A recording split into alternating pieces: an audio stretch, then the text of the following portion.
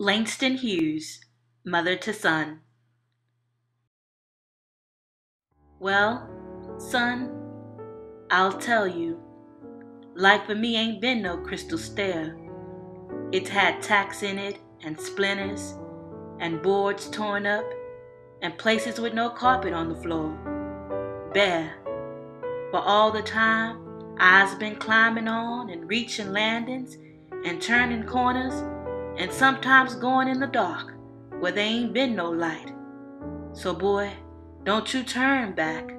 Don't you sit down on the steps, 'cause you find it's kinda hard. Don't you fall now, for I still going, honey. I still climbing, and life for me ain't been no crystal stair.